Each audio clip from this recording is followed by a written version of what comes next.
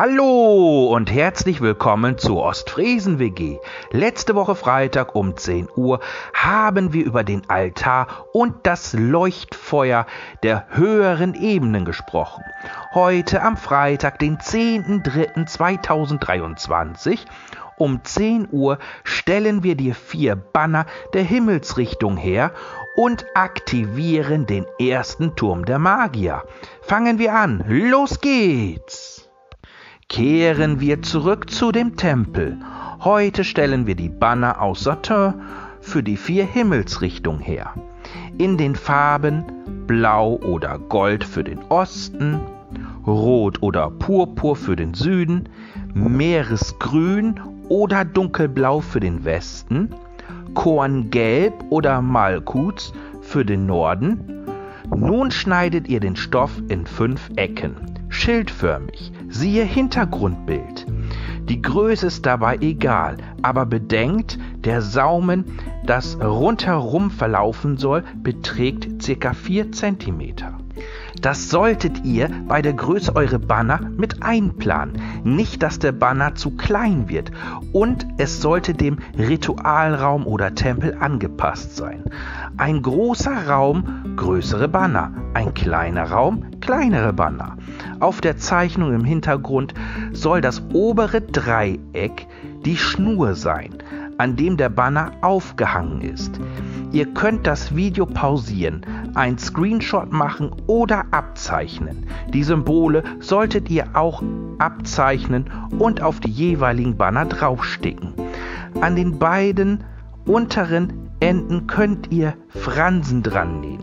Auch diese kann man günstig im Internet erwerben. In den oberen Saum näht ihr am besten einen dünnen Holzstab oder eine Gardinenstange hinein, das etwas breiter als der Banner ist, damit ihr an den beiden Enden eine Schnur oder Kordel befestigen könnt zum Aufhängen.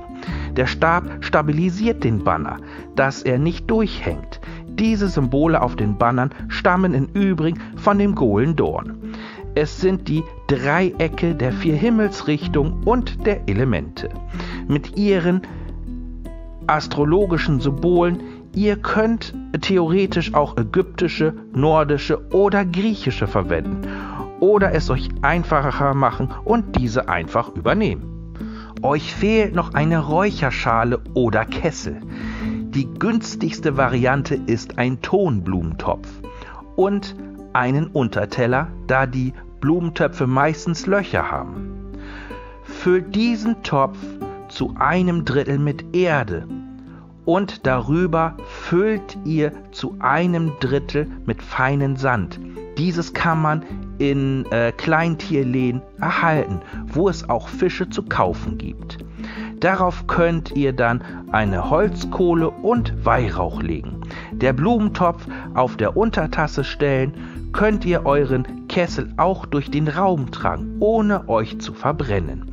Theoretisch könnt ihr auch einen Treckpot auf Plattdeutsch oder auf Hochdeutsch eine Teekanne verwenden und diesen mit ein Drittel Erde und ein Drittel Sand füllen. Da der Treckpot einen Griff hat, ist er gut zu transportieren. Alle Pflanzen und ihre Düfte sind bestimmten Planeten zugeordnet. Es gibt hervorragende Bücher, welche Kräuter ähm, ihr für welche Ritualen verwenden könnt. Wenn ihr mehr darüber erfahren wollt, schreibt es unten in die Kommentare. Wenn ihr selber Kräuter pflücken gehen wollt, nehmt als erstes Kontakt zu dem Spirit der Pflanze auf. Bittet den Spirit um die Eigenschaften der Pflanze und dass ihr sie ähm, pflücken oder schneiden dürft. Und ihr müsst eine Opfergabe als Dank für die Pflanze dalassen. Genauso wichtig wie das Räuchern im Tempel ist die Musik. Aber es sollte nicht eure Lieblingsmusik sein, sondern Musik, die zu der Atmosphäre eures Tempels passt. Genauso wie einige Düfte dunkle Kräfte anziehen kann, so ist es auch mit der Musik. Die unsere magische Arbeit zerstören oder verwirren könnte. Es gibt viele Arten von Musik, zum Beispiel von Lorena McKennitt Mystic Dream oder keltisch von Bob Stewart, Journal to the Underworld oder Hexenkult von Mike Oldfield, Celebration heißt es. Ihr könnt auch Wikinger- oder Viking-Songs oder Herr der Ringe-Songs und so weiter verwenden. Es sollte zu eurem Ritual passen und, stimmig, und sich stimmig anfühlen. Jede Musik besteht aus drei Elementen oder Fäden, die sich verbinden, um besondere Schwingung zu erzeugen, die auf unsere Ohren und Körper, das Bewusstsein unseres höheren Selbst und Gefühle wirken.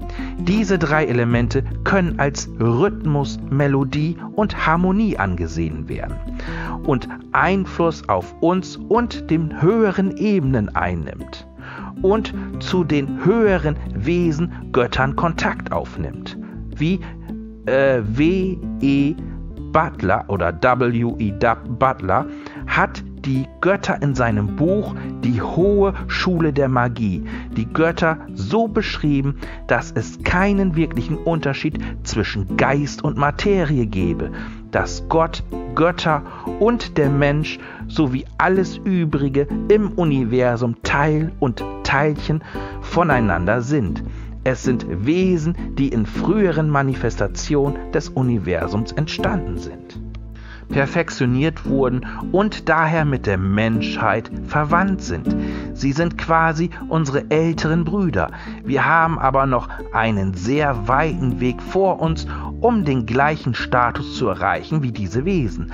Aber der Mensch hat einen Vorteil, dass er für eine gewisse Zeit an einem physischen Körper gebunden ist mit Gefühlen und Bedürfnissen, um zu reifen und sich zu entwickeln. Zu diesem Zeitpunkt sind wir ein Teil der lebenden Erde. Sagt euch, ich bin ein Kind dieser Erde, aber mein Geschlecht stammt von den Sternenhimmel. Durch diesen Spruch wird uns bewusst, wo wir im Universum stehen. Das, was uns von den Göttern unterscheidet, ist ihr Erfolg mit der Magie, Energie der Bewusstheit. Gehen wir jetzt über zur Meditation. Es gibt sieben Stufen der Meditation. Ein ausgebildeter Magier erreicht die ersten fünf Stufen der Meditation problemlos. Die erste Stufe ist das Tagträumen. Die zweite Stufe der Meditation seid ihr leicht erweckbar, aber ihr zieht in diesem Zustand schon wichtige Informationen und diese Stufe wollen wir erreichen. Die anderen Stufen 3 bis 7 von leichten Trancezustand bis fast komatösen Zustand gehen wir in den späteren Verlauf der Ausbildung drauf ein. Setzt euch bequem auf einem Stuhl in eurem Tempel. Siehe Bild. Es erinnert an eine ägyptische Hieroglyphe. Macht euch das Leuchtfeuer an. Damit meine ich die Altarleuchte. Setzt euch auf eurem Stuhl im Tempel und beginnt mit der Meditation. In eurer Meditation seht ihr euren Tempel mit einem kleinen Unterschied. In eurem Tempel befindet sich eine Wendeltreppe, die durch die Zimmerdecke empor in einem anderen Raum führt, der genauso aussieht wie der erste Raum unseres Tempels. Konzentriert euch dabei auf diesen Raum. Nach ein paar Minuten steht ihr in eurer Vorstellung auf, lasst euren physischen Körper ruhig sitzen und geht zur Treppe steigt die Treppe gleichmäßig und ruhig empor und fühlt, wie ihr beim Aufsteigen eine Spirale beschreibt, bis ihr in die genaue Abbildung des Raums gelangt, das ihr vorhin verlassen habt. Geht jetzt zu dem Stuhl und setzt euch dort nieder und lasst euch in eine andere Stufe der Meditation sinken. Die ersten paar Male werdet ihr den unteren Raum zurückschnellen. Wenn das passiert, steigt ihr die Treppe wieder hoch und versucht es nochmal. Versucht die dritte Stufe so lange wie möglich aufrecht zu halten. Dann erhebt ihr euch von eurem Stuhl und geht die Treppe hinunter zu eurem physischen Tempelraum und kehrt langsam aus der Meditation zurück. Fühlt euren Stuhl und mit euren Füßen den Fußboden trinkt etwas und esst eine Kleinigkeit. Versucht den Zeitraum dieser Meditation jedes Mal ein bisschen zu verlängern. Aber die dritte Stufe der Meditation solltet ihr nicht jeden Tag machen. Einmal die Woche reicht diese Meditation der dritten Stufe vollkommen aus. Erst nach sechs Monaten könnt ihr diese Stufe der Meditation zweimal die Woche machen. Aber nur, wenn es zu keinen Nebenwirkungen kommt, wie Kopfschmerzen oder Verwirrtheit. Dann macht es erstmal lieber nur einmal die Woche. Mit dem Hochsteigen der Treppe seid ihr in eine neue Phase eurer Ausbildung getreten, jene der kreativen Visualisierung. Euer inneres Auge werden wir noch weiter entwickeln, aber auch das Tasten, Riechen, Hören und Schmecken auf den inneren Ebenen werden wir schulen. Das Vorstellungsvermögen ist in der Magie sehr wichtig. Als erstes brauchen wir eine Idee, dann die Struktur und dann haben wir das Objekt oder auch Wollen, Gefühl, Manifestierung. Wir müssen etwas wollen, ein Wunsch. Wir müssen es uns bildlich vorstellen und dann laden wir es mit ein Gefühl auf. Aber wir müssen es uns ganz genau und detailliert vorstellen. Und dafür brauchen wir ein gut geschultes inneres Auge. Um das innere Auge zu trainieren, müssen wir unsere Beobachtungsgabe und Gedächtnis trainieren. Ihr müsst lernen, eure Umgebung genau zu beobachten und euch einzuprägen. So wie ihr euren Tempel gestrichen und neu eingeräumt habt, prägt ihr euch euren Tempel genau ein. Und daher wird es leichter fallen, den Tempel zu visualisieren, da ihr auch mit dem Tempel beschäftigt seid. Es gibt noch andere Möglichkeiten, die Beobachtungsgabe und Merkfähigkeit zu trainieren, indem ihr von euren Freund oder Lebenspartner oder Lebenspartnerin einen Tablett mit zwölf Gegenständen fertig machen lasst. Es wird mit einem Tuch verdeckt. Anschließend wird es abgedeckt und ihr habt zwei Minuten Zeit, es euch einzuprägen. Und anschließend müsst ihr versuchen, so viele Gegenstände wie möglich aus eurem Gedächtnis zu benennen. Nach ein bisschen Übung könnt ihr sogar benennen, welche Objekte die gleiche Farbe haben. Nach ein bisschen Übung macht ihr das gleiche mit Fotos vorzugsweise mit einer Gruppe von Menschen. Anschließend deckt ihr das Bild ab und versucht euch daran zu erinnern, wo wer gestanden hat und was er für Kleidung getragen hat und was sie in den Händen hielten.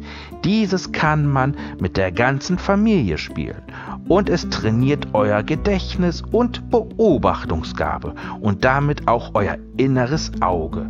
Und dieses könnt ihr an jedem Ort trainieren. Beim Einkaufen könnt ihr euch Dinge einprägen, beim Spazierengehen zum Beispiel mit dem Hund Gassi gehen oder bei der Arbeit. Und wenn ihr abends im Bett liegt, geht ihr den ganzen Tag zurück in euren Gedanken. Was habt ihr gemacht? Was habt ihr gesehen und erlebt?